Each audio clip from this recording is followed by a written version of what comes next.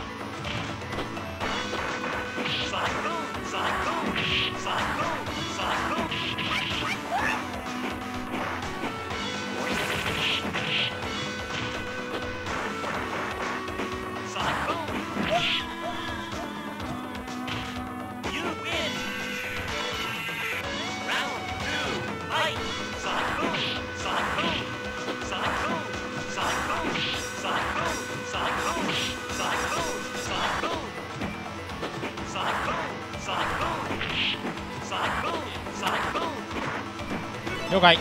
えあその話はまた今度ということで。こんにちは、えー、2019年6月マイクがねマイクの調子が悪い。2019年の6月14日、えー、令和元年。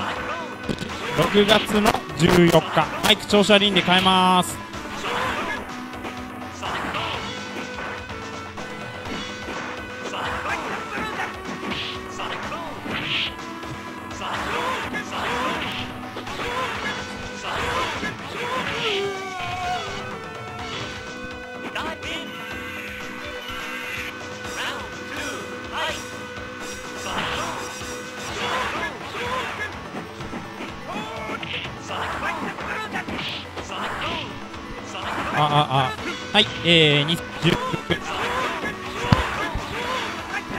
はい、えー、2016年のあ19年の6月14日ということであれ配信は載ってるんでしたっけ？大地さん。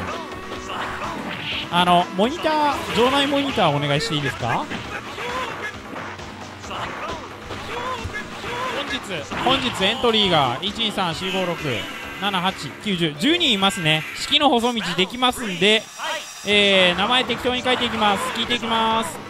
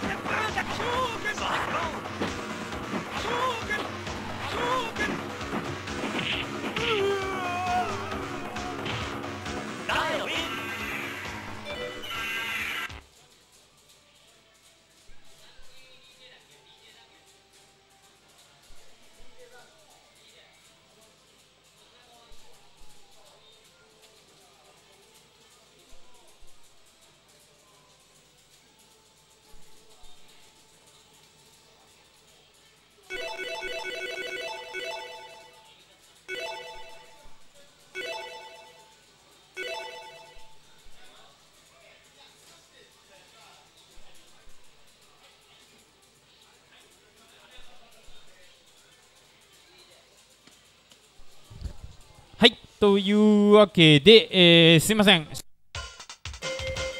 シャッフルが終わってます。はいえー、1人目、えーすいません。えーと 1P 側リオンさん。えー 2P 側カーシムさんということでスタートをしてもらって構わないです。じゃあ第124回式の細道スタートです。1P 側の 1P 側のディオンさんが、えー S 剣 2P 側の、えー、川島さんが DJ と。久々でね式の細道開催。今日ねあのーテンションだけで乗り切ろうかと思ってます。お疲れ様です。すいませんそっちマイクがちょっと調子悪くて。聞こえてるかどうかわかんないですけど、あ、はい入ってるっぽいですね、今ね。うん。切れてる時は切れてる感じします。り入った。繋がってないがだいぶ DJ 優勢とどっちが有利とか、いまいち分かりにくいですね。そうっすね。ちょっやっぱり、ことれは本当使ってる人に聞いてみないとぐらいの感じがありますが、でもループさせるのは DJ 側ですよね。うーん、そうですね。させやすいの。球の回、S 剣はとりあえず球の回転がすごいので、そうっすね。球持ち同士はそこそこ入れてるらしいんですが、剣なのに速いっていうね。安定の強さもお互いなかなかいい勝負。さあ、話拾えなかった当たか投げるしかし最後は削りははい。えー、川島さん勝利で、えー、続いてエクスプラさん.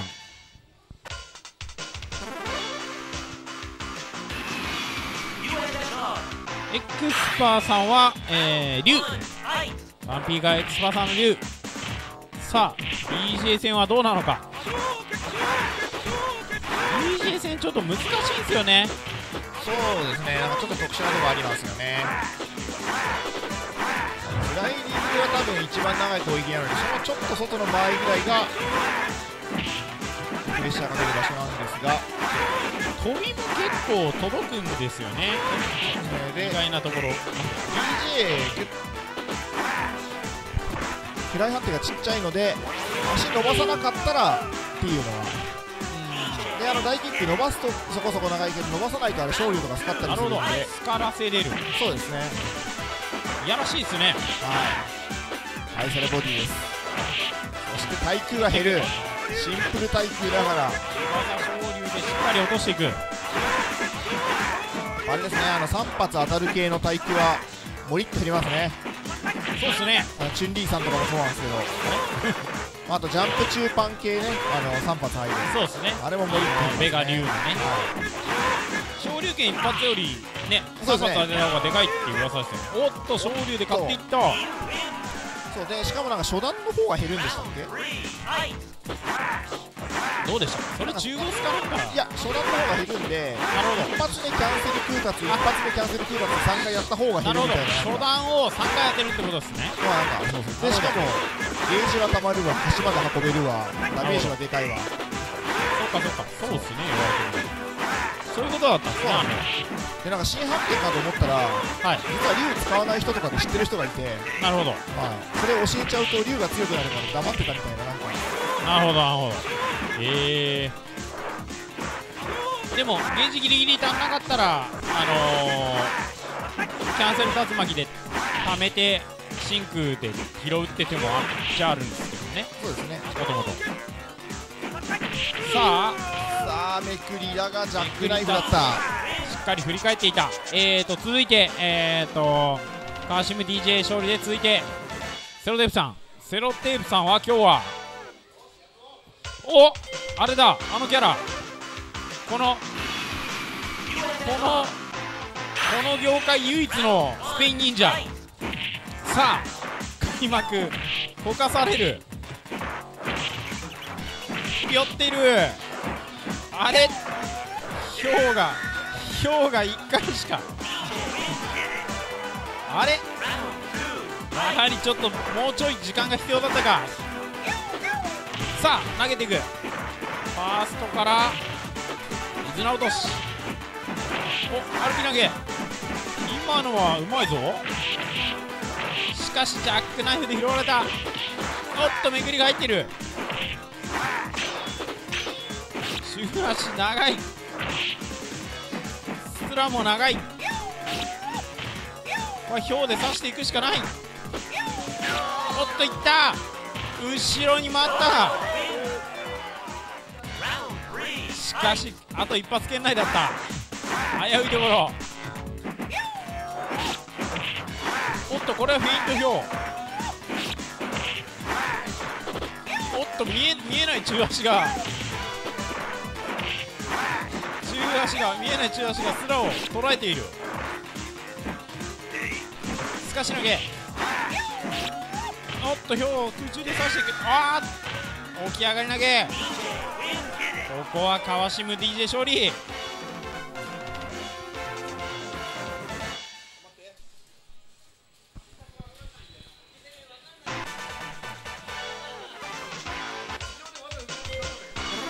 ちょっとはい。あの不慣れなもんで沖攻めがよく分からなくて地上から技を重ねに行きました。そうね。投げ前で重ねちゃダメだよね。はい。さあ。私の敵は方山本さんのチュンリーが取ってくれると信じて。今日は残機ステージ残機が出るまでちょっと早いステージが続いてしまうんですが。壁に追い詰めて。じっくりさあ入れ替えてゲージまで溜まってしまうというこのやばささあもう削りに使ってもいいぐらいまで体力を減らしている。もちろん削る。さあまずはもう山本チュンリ1ラウンド目。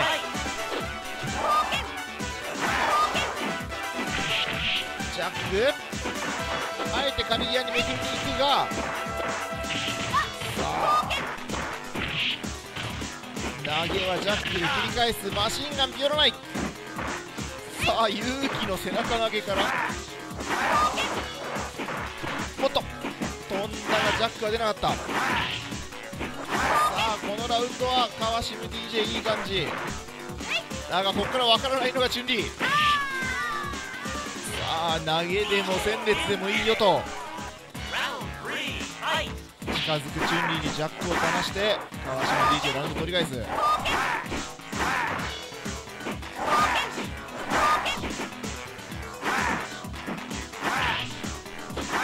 あやはりスラがある分ためを維持しながら前に出られる DJ の方が画面を押しやすいのか。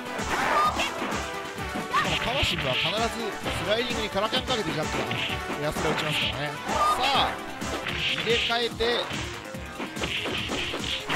しゃがみくらいに最大かこれは。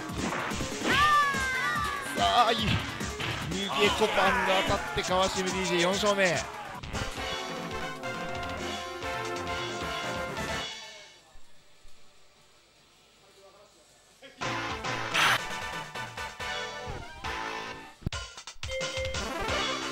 さんはクレジットまだ持ってます？あすいません。両替してなかったです。あよしじゃあ適度にお願いします。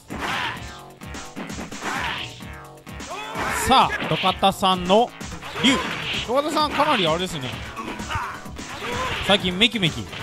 そうですね。急か成長してる気がするんですけど。なんか練習もしてるしなんかいろいろ動画を見てみたみたいな話をしたんですけど。なるほど、はい、あのー、あれですねよく言われる勝利への近道ですよね。と思ったんですが、い。なんか動画見たらなんかあれ結構やばいって逆に。逆に？そうです。結構難しいことしなきゃいけないのかなみたいな。ああそう竜そうなんですよね。竜は確かなんか昔強い人に聞いたらあのできること全部やんないとダメだよって言われた気がする。そうですね。いろいろできるけど、い、ろいろできないといけないこともいっぱいあるそんなことを言われた気がしたんで諦めました。それから玉打ちとかやっぱり画面だけ見ててもなんか気づける人と気づけない人がいるみたいなそうっすね。気づけない秘密みたいなのが球が難しいんですよねやっぱ。そうなんですよ。なんかね強い人の見てもなんかねただただただ打ってるだけじゃんみたいな感じそうそうそういう気もないんでするんですけどこ自分うがやると飛ばれるっていうね。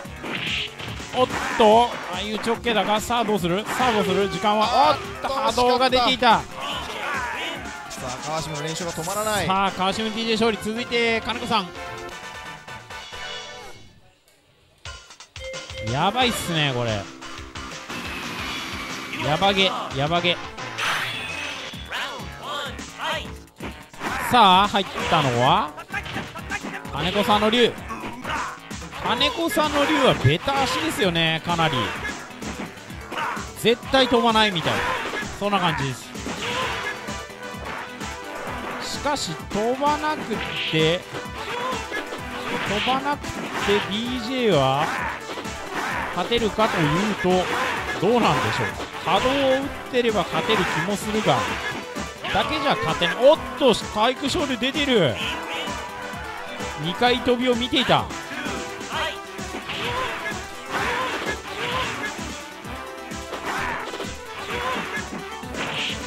力が入って。おっとピヨってる。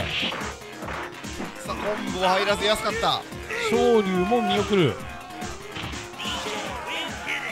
昇竜やっぱあれですよね。はい。大昇竜で打ちたいけど対空は打ちたいもののそうですね。さっき言ったあの DJ が足伸ばすか伸ばさないかみたいなところがあるんで。見送っちゃうとちょっと遅いとどうにもなんないことになっちゃいますよね。そうなんですよね。まあそれは間合い調整でなんとかするんでしょうが今の場合ですね。今そうですね。着地台足もガードできてるしでも昇竜が当たらない。外野手対空でいけるところですよね。さあおっとカクカクして。圧をかけていくが。川島ガ DJ も見送る。おっおっ見えない飛びさあ続いて白さん。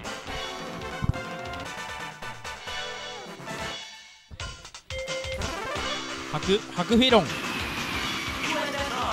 川島 DJ が5連勝？やばいっすね。6連勝さあ DJ フィロンは DGA ですよね確か。かなり DJ ですね。みたいな話になってましたよね、世間的には。中足の空振りに劣化減がさせるクラスじゃないとちょっとっていうぐらい中足連あー中足バリアがきついみたいな。これですね中足バリア、中足に劣化剣刺す。はい中足の戻りに劣化剣させるぐらいになると気軽に触れなくなるんですが。いやそれかなり難しいですよね、はい。もうエアスラじゃなくて実はその中足がやばいという。ああなるほど。でもちろんジャック溜まってるんで上からもいけない。そうですね。レックもジャックで落とされる。さすがにコマンドじゃないんで割と見てから余裕で出るみたいな。なるほど。レックを落とせる対空ってそんなないんですよね実は。昇竜系は結構巻き込まれがありますね。さあそうワンチャン。ですよねおっと裏から出た。これはハキャミの動きだ。投げる。投げ。K はめ VJ の中継はめくり性能高いんでくぐり投げは結構難しいんですがなるほど。反抗しましたね。フェロンのやっぱ機動力ですよね。そうです。ね足は速いので若干横幅がありますが。そうですね。めくり。うわピヨってしまった。を立ってしまう。さすがいやさすがに今のはもう負け格ですよね。さあ続いてデロさん。えーと川島 DJ がここで7連勝かな？卒業。一気に卒業ですね。さあ、えー、デロさんも、え1キャラ目は S 剣を選んでいただきました。これを勝ってしまうと久しぶりの卒業ってやつですね。マジっすか。今日ここにいる全員が負けてしまったという恐ろしいですね。悲しい事態それでも優勝が決まらないのがこのゲームの不思議なところで。そうですね。なんか僅差なんですよねキャラ差。もありながらも。あ。まだ隠されたね得意キャラがいるかもしれないんでね皆さん。あさあ波動で押していく。本日2回目の S 剣はさあ大足空振りにスライが入った後相打ち。おっとアッパーになったか良かったと思う逆に。逆にね。逆に良かったと思うかなり狙われてる。投げる。投げる。中田投げ。ささあじ時間ももうない。どうなる？投げる。間に合うか？昇竜拳。暴れていった。きましたね。おっと初段あれか。DJ の方がダメージ奪えるんだあれで。相打ち OK ですね。さあ大昇龍。大昇龍完全無敵だぞ大昇龍いった。た S 剣は別に弱中強全部完全無敵ですね。あそうかそうか。S 剣だからそうっすね。失礼しました。X 剣と勘違いしてます。さあ鳥かごさあ鳥かご玉打ち鳥かごいいぞ。さあ抜けるが割った。さあさせな割いった。デレロエスケ勝利。でかいですね完全無敵。さあえーと2周目になるんですが。えーとリオンさんですね。さあえー、クレはありますと。残儀使いはいるのか？いますね。残儀ステージが続くが残儀。ちょっと残儀ステージの右側あれですね。足払い系が見えないのが嫌ですね。まあバイソン相手には大丈夫かな。バイソン側としては右に寄られたくないですね。おっと竜巻。おピヨった竜巻。見事スリーヒット。いやーナイスです。ナイスです。見事あれですね。竜巻巻き込むからピを持ってきましたね。日頃の行いですねあれは。日頃の行いを信じるか信じないか。そう。あなた次第ってやつですね。素晴らしい。さあ。ねランスイッチのでかいゲームですからね。さあ。そうですね。竜巻いって投げる。2回竜巻いった。さあ波動かなりのらりくらりしてますね。いいっすねいいっすね。その。今のもなんか勝負にいってますね投げにいって。ます昇竜拳と。さあ。剣は上からはいけない。剣デレロ勝利さあエクスパさん。いやでもあれですね。あのー、バイソン対策い生きてますね。やってるっぽいっすよねかなり。さあ入っていくのはエクスパーさんの竜さあエクスパッパー。ここで勝ってこその真の S 剣使い。なるほど、まあ、道義戦がうまいかどうかというのはねやっぱり。ね。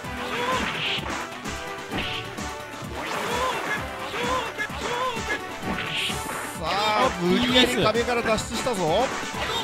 そうさすがのエクスパーパーも TBS があるとうっかりできない。これもさっきの DJ とちょっと似ておっとおっと勝利足払いに。買っていく。ちょっとエクスパーさんらしくない動きですね。そうですね。パーさんもいつまでも同じ動きではない。進化している。している。さあ飛び込み三段入ってしまった。ファイヤーでちゃんと締めている。さあ今のはニューブローだったのか。空達でめくってましたね。めくってないのか。表か。さあお返しとばかりに飛び込み。しかし昇竜が入んなかった。ちょっと遠かったんですかね。遠かったか高かったかか初段が。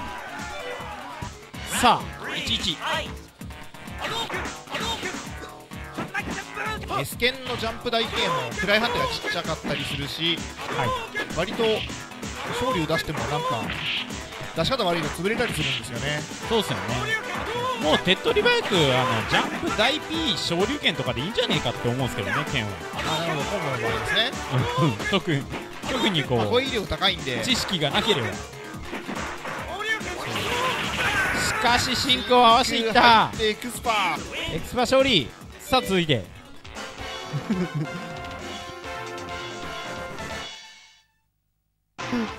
ょっとヒット確認ぐらいしてもらわないとびっくりしましたよ。まさか。さあデレローさんが3勝かな？2勝 ?2 勝さあエクスパーさんの竜に入っていくのはここはスルデブザンギ。いやこれは期待できるぞ。ザンギステージ。ステージが変わるのか変わらないのか。さあじりじり寄っていくセロテクザンギ。しかしエクスパーリもなかなか波動は打たない。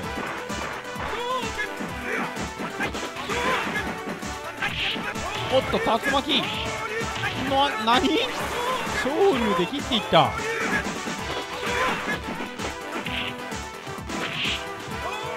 ロケティア投げる。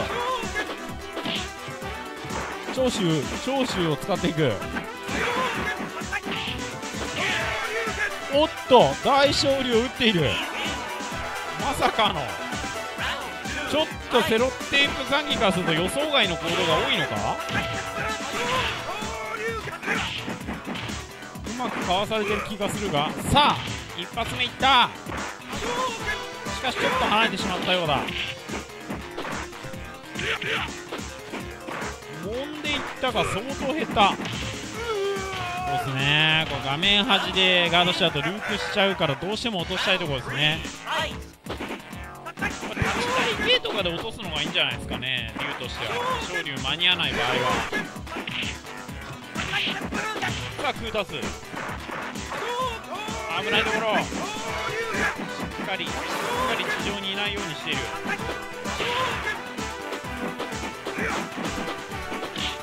長州から投げる。しっかり受け身は取っているが。さあストマック。おっと割っていったところを見送られた。昇竜着地に。入れておここで波動モードなぜかビヨっている。さあ真空いった。イエス。イエス。エクスパー竜勝利。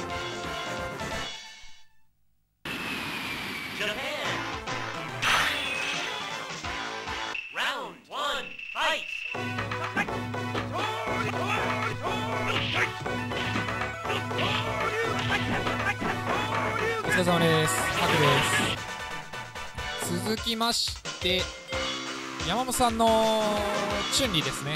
チュンリーチュンリー。山本さんはそうですね、エクスパーさんとはいっぱいやってるので、どうなんでしょう。首を振ってますが、まあ、やりづらいことには変わりですね。戦列をためるところからが山本スタイルですね。中ゴスおっと背中蹴りも大足間に合う。アッパータイクですよねエクスパーは勝中パン大工あれ対空できるんですね。戦列惜しい。だがエクスパーはシンクがあるのであーっとこれは確定。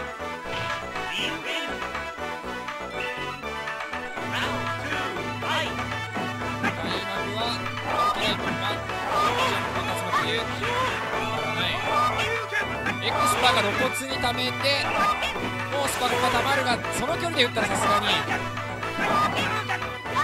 逆に今度は山本さんが溜まっておっと今読んでたっぽいが下ってしまう。80かなあの技の勝負当たる。エクスパもなぜか溜まってる。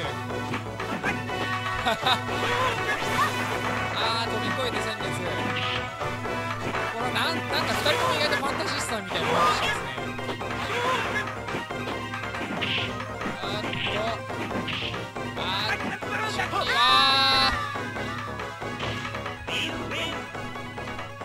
2人ともすごいぴょんぴょん飛んでましたね。続きまして土方さんの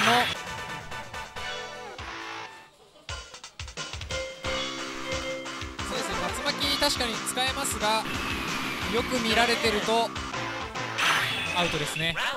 いやー竜巻すごいっすねやっぱね。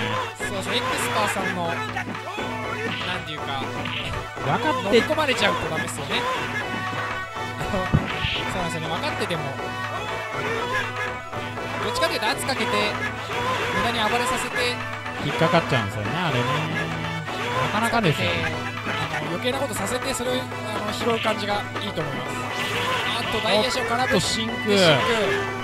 ハードを重ねていく。これはエクスパーさんが意外と打ってますね。エクスパー竜巻を投げて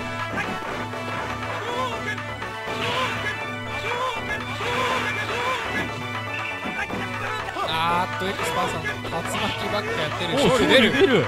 大きいなんだ今の大きか？あのフェイントなのか釣りなのかが分かんないですよねそうです多分弱勝利でフェイントしつつ多分シンク貯めたいんでしょうね。あーっとこれはあと昇竜出てたが多分ね。中華強で。重ね着が抜けれなかった。中っぽい感じでしたね。中っぽいっすでなんかファイヤー当たったんでファイヤー勝利みたいに見えましたね 逆に逆に。意外といい勝負。あーた勝利が出ない。竜はどうなんですか？あの今勝利で出れば出勝利なんでしょうけどつまりはしゃがみ大感とかですかね、まあそうですね。そうですよね。ワンワンボタンタイプです、といえば出してまだ全然勝てる体力からってってしまって。ただあれなんですよね。アッパータイプいいい。いいいおあれちょけタイプしちゃうとダウンが奪えないんですよね。あーそうですね。あおっと投げ。ー惜しかった。今真空良かったんですけどね。そうですね。いい真空でしたねあれね、エクスパーさんにえ真空はこうやって打つんだよっていう風に。うんそうですね。結構早めに使っていきますからね。そうですね。さあ続いて金子さんがあれ？チュンリー金子チュンリー金子さんがガエルじゃない。これはねちょっと見本となる動きをしてくれると思うので。そうですねこの百裂と気功でゲージを貯めるところからだがエクスパーはエクスパーで真空を貯めている。あでも。危なかった今。だから露骨に狙ってくるんで逆に誘うって手もありますねでこの後シンクですねこれ竜巻はシンク打ちたい竜巻なんでほっとけって感じですね。そうですね。で体力いいのしてたらもうそれほっといておー抜ける。さすがテンションまで入れるかっこいいやはりしっかりしているいやー基本しっかりしてますねやっぱそうですね金子さんは本当に X のもう真面目にやるタイプなんで。本当にああいうのは細かいことはすごいうまいですよあれも今のはなんか相打ちで入ったりしないですか？あいや波動を相打ちしたらってことですよね。なんかちょっと早めに打ってたからなんかあれかなとあのオーラパンチか原価は。あーおー抜ける。と再び抜けていく。飛行剣を重ねて投げる。確定。昇竜で抜けてます。お願いします。さあ、えー、金子チュンリー勝利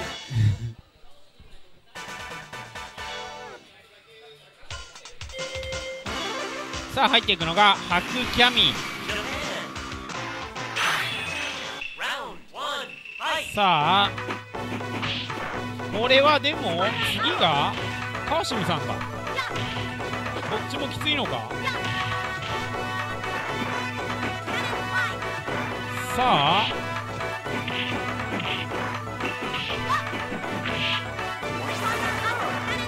この組み合わせはさすがにチュンリー有利だと思うんですが。有利はチュンリーですただただがやっぱメインキャラサブキャラ的なねところがあって。そうっすね。アクさんはメインキャラ。金子さんは超サブキャラ。上位互換っぽいとはいえちょっと立ち回りが随分ねガエルと違いますから。そうっすね。投げ。くぐり投げ。さあこれはそのチュンリー使いの山本さんとしてはどういう立ち回りが対キャミー戦のチューの立ち回りはどんな感じがおすすめなんですか？どうなんですかね？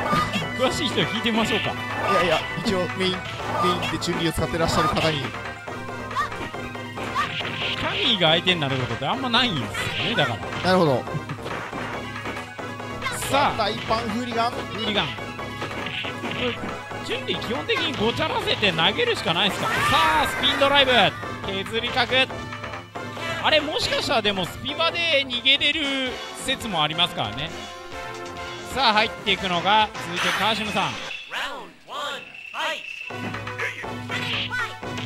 さあ連勝数ワンツーが今のところカーシム DJ とエクスファリュー。7勝と3勝ですね。さあ川島さんがザンギエフ。ザンギエフが最後のカーシムさんが最後のプレイヤーと。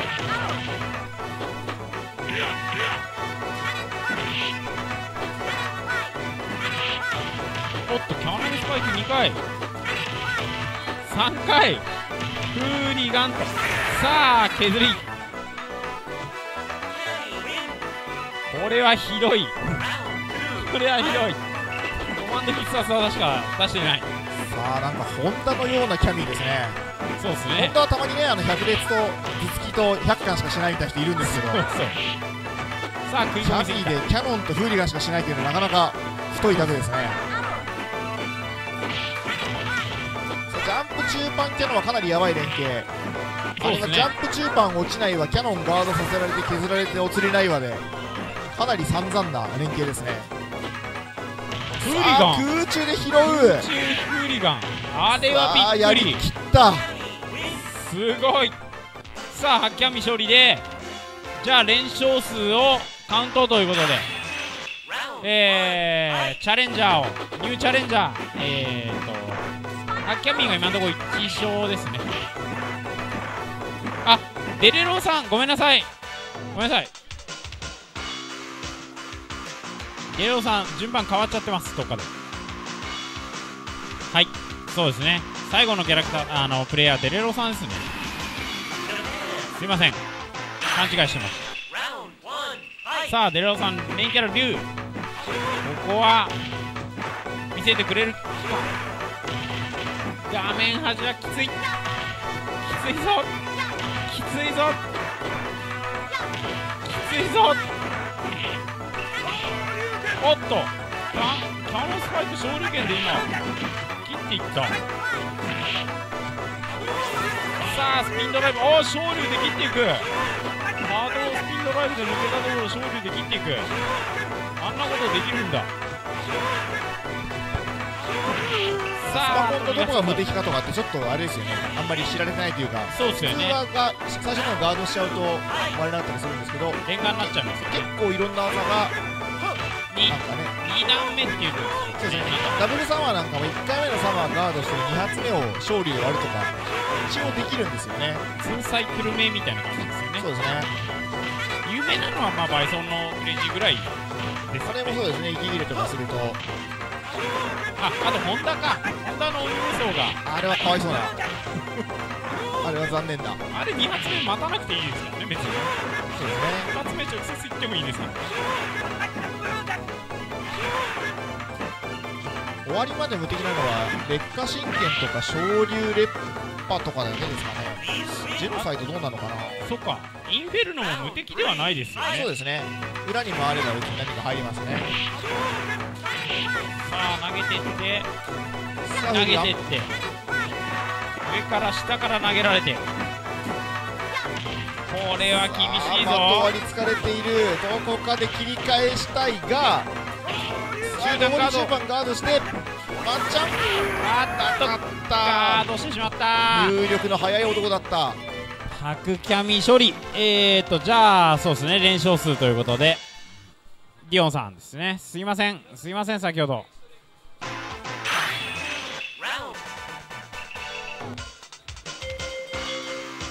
さあ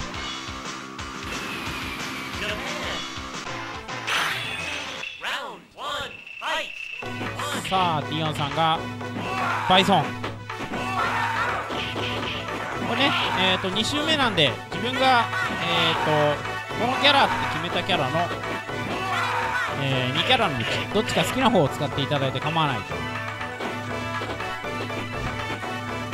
うですね。これはもうすでにまあ、ただ場合だとミロンさんはもうねあの勝っても負けてもおしまいみたいな。そうですね。話も2回やってるので。奥さんの連勝を止めるだけ。ね最後のプレイヤーは実はちょっと若干不利というか。そうですね。かぶせられる可能性があるんで。そうですね。さあ悪かった的な感じでさあ下は。さあヘッドが刺さる。してしまう。ここで終了と。はい、ハえーありがとうございました。3勝ということで。おっ。てことはこれ。えー、三勝リザルト言いますと同士が？ちょっといや今ちょっともう一回一応確認しましょうか。3勝同士2人ですか？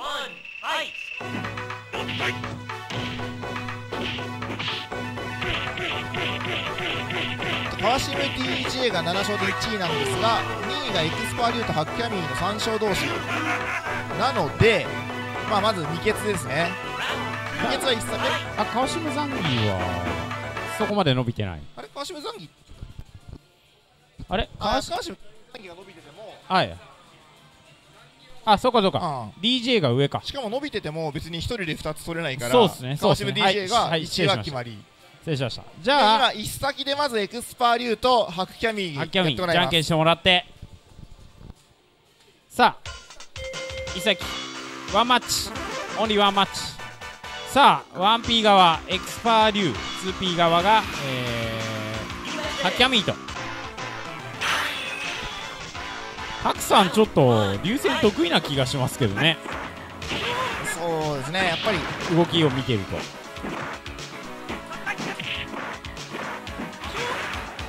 出た。このゲーム長くやってるとやっぱ嫌でも流線ができるようにそこそこなるみたいなところありますね。そうですね。龍剣多いですからね。龍剣ガイル竜ダメだっていうところでねあの行くゲーセンなくなっちゃうっていう。さあ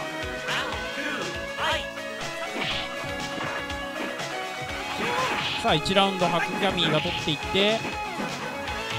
リガン？空中で取られるの厳しいっすね。そうですね。急投げ地上投げ両方兼ねてるという恐ろしい技ですからね。そうですね。それができるのはバルセロナとフーリガンぐらいのもんですそうねですよね。さあ。最後背刺さる勝ったのはハッキャミーさあというわけでここから川島 DJ との3先が始まります。はいえー、2位はハクさんということで。川島さんが決めれますが。そのままでいい。なるほど。じゃあこのまま引き続きで。ハクキャミー対川島 DJ ということで。あれここ対決なかったっすよね多分ね。はい。はい。えっとこのこのステージ箱があるんで一応なんかランダムであステーそうですね。ジ変更。そうっす。でこれで箱があったら諦めてくれと。というわけでちょっとリセットかましてどのステージが出るか。ステージは香港。香港ちょっと後ろの置物がうるさいか。そうですね。ちょっとスローになる時ありますよねこのステージ。さあ香港ステージで第124回式の細道決勝戦ということで、まあ、始まってますが。さあめくりが入ってピオラないラッキー。投げに行ったのか今。さあ振りが戻していく。キャノンキャノンと。ンドライブでおっとお釣りでカーニバル入っていく。さあ1ラウンド目は川島 DJ2 ラウンド目。これキャラ的にも DJ の方が若干有利なのかな組み合わせ的に。これ多分モリモリ DJ 有利が。な気がしますよね。そうですね。さっきのフェイロンとまあちょっと似たようなところもあってさあ拾っていく。しかし安かった。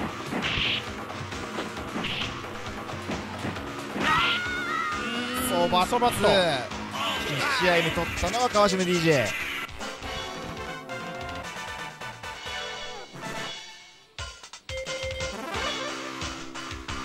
さあえー、1試合目は川島 DJ ということで2試合目。さあハッキャミこの前ねそういえばねハクさんね教授と重崎やっていただいて。何でしたっけ？小物市やすごかったですね。現場盛り上がってたんじゃないかと思いますが。さあおっとゼロドットか？お削りが入ってゼロドット。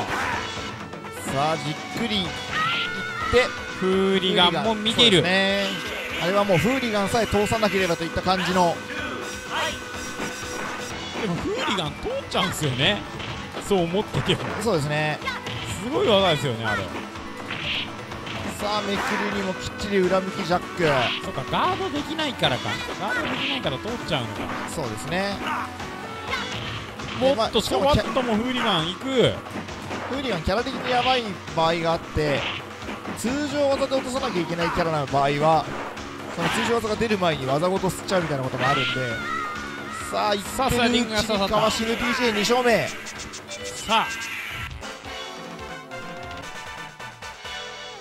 さあ3試合目。ハッキャミもいいところを見せているが。明日の DJ の方が。ハッキャミーハハッキンはなんか DJ よりもザンギの方が嫌だみたいなこと言ってたんで。なるほどその川島のザンギを倒している。さあパナシギのジャック。に当たってしまう。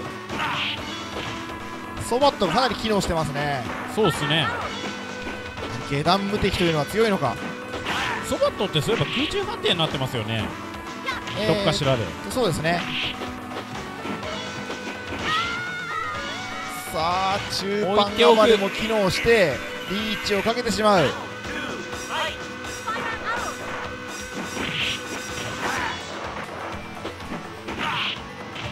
さあソバット空中判定になってるから足払いつかせるんですよね確かそうですね。フーリガンからつなげ。さあジャック。漏れた気味の技に。さあソバットも機能する。スピンナックル漏れたんですかねそうですね。多分フーリガンの漏れだと思いますさあどうする？残り2ドットピンドライブ。最後はリバサイアスラで優勝が川島 DJ 川島 DJ おめでとうございます。おめでとうございます。川島さんちょろちょろっと無敵時間さんちょっかと。川島さんおめでとうございます。した。川島です。すいません。また DJ でしたけど、えはい。ー、ソキャラですよね。まあクソまでいかないじゃないですかまあでも君だとねちょっと辛いですね。キャミーフェイロンあたりはちょっときつそうでしたね見てて。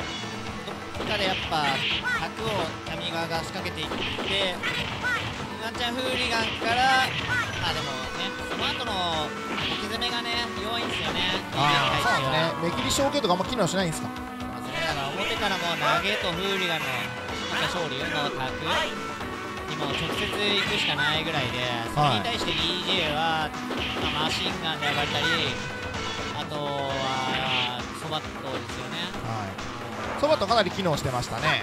通常投げだったら別に食らってもいいやぐらい確かに。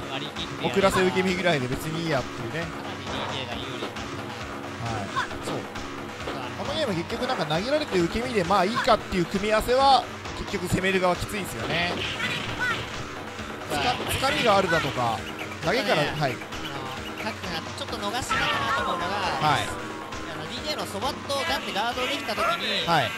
なんか入れにいけると思うんですよね。あれはあの場合はそうですね先動けますもんね。うん中足スパイラルぐらい入るのかな。そのチャンスを何2箇所ぐらいかな見逃してたところがあったのかな、まあ、DJ がそのね痛いのを覚悟してるぐらいなんで、はい。もうそのそばっとガードされた後のあのフーリガンとか絶対食らっちゃうと思うんですよね。なるほど。そこからワンチャン狙っていくとザンギとかだとスクリューぐらい入るんですけどねあれねガードすると。感じはね。ザンギはね。さあまあそんなこんなでしたが。久しぶりのおめでとうございます。ね。失礼しました。はいというわけで第124回式の細道は川島 DJ の優勝でした。お疲れ様でした。じゃあこの後はまた閉店までの試合配信も多分続くと思いますので。今やってるのがハクンのキャミーと今乱入したのが川島 DJ もう一度。そんなわけでまた今後もよろしくお願いいたします。お疲れ様でした。